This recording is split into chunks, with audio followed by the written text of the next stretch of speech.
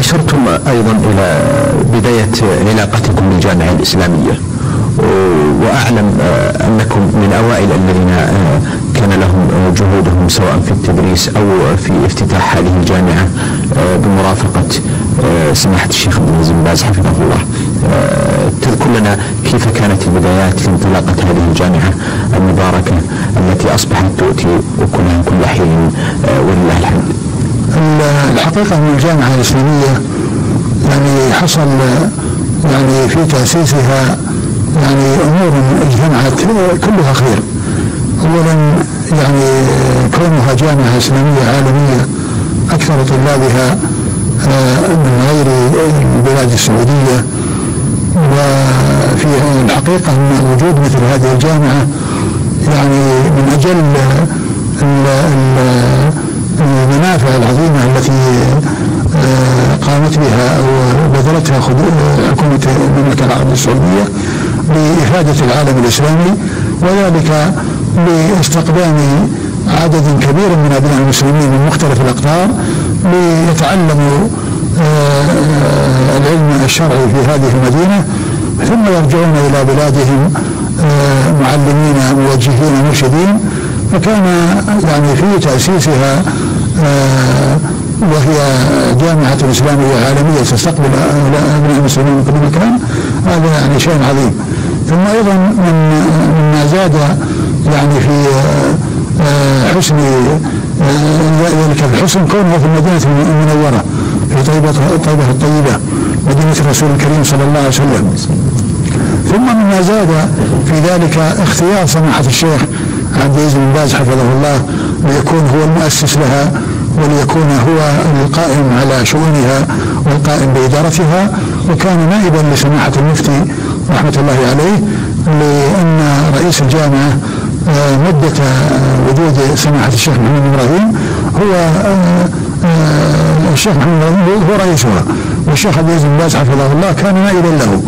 وعندما توفاه الله عز وجل عين سماحة الشيخ عبد العزيز بن باز حفظه الله رئيسا للجامعة الإسلامية وذلك في عام ألف عام تسعين وثلاثمائة وألف.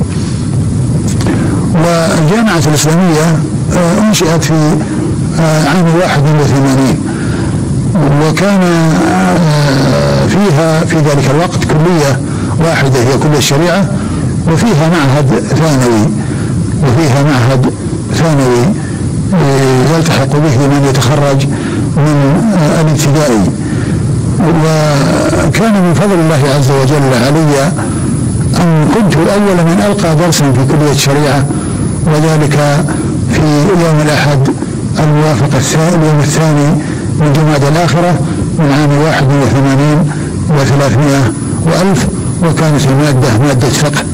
وكان هذا من توفيق الله عز وجل لي وفضله علي أن كنت أول من ألقى فيها درسا في هذه الكلية التي هي أول كلياتها. واستمرت الجامعة يعني على يعني ذلك ليس فيها إلا كلية واحدة وفي عام ستة وثمانين أنشئت فيها كلية ثانية وهي كلية الدعوة وأصول الدين ثم في عام أربعة وتسعين أنشئت كلية القرآن الكريم وفي عام خمسة وتسعين أنشأت أنشأ قسم الدراسات العليا في الجامعة وأنشأت كلية اللغة العربية وفي عام ستة وتسعين أنشئت كلية الحديث الشريف والدراسات الإسلامية. أثابكم الله فضيلة الشيخ. آه، أيضا بودنا أن نتعرف على آه، عملكم في الجامعة الإسلامية. كيف آه، كان وتدرجه وأين كانت أو كيف كانت الدروس التي كانت التي كنتم تلقونها في الجامعة في أي الكليات؟ منذ إنشاء الجامعة الإسلامية في عام 81 كما قلت كنت أول من ألقى فيها درسا وذلك في كلية الشريعة وكانت مادة فقه ودرست الفقه يعني سنوات عديدة ودرست أيضا بعض السنوات ودرست المصطلح أيضا في بعض السنوات ودرست التوحيد أيضا كذلك يعني في يعني في عدة سنوات ولكن أكثر التدريس كان في مادة الفقه. آه، وكان يعني ال ال واستمرت وحصل الاستمرار في التدريس آه، في كلية الشريعة ثم في كلية الدعوة والأصول الدين معها يعني جمع بين الكليتين. وفي عام 93 و300 وألف بعدما عين طلب من جلالة الملك فيصل رحمة الله عليه إحداث وظيفة وظيفة باسم رئيس الجامعة الإسلامية فأحدثت تلك الوظيفة آه، في ميزانية آه، عام 93 و300 وألف. وطلب آه، من سماحة الشيخ أن يرشح لهذه الوظيفة يعني من يراه.